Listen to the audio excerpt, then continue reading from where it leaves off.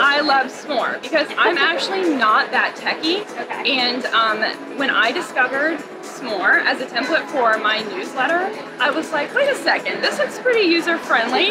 and so I was just clicking and dragging and embedding links and videos, and it was so easy to do. Like, okay, this is going to be very efficient for me.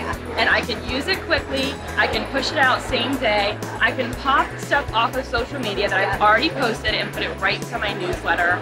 And it's colorful and it's friendly and exciting. And the analytics are fabulous.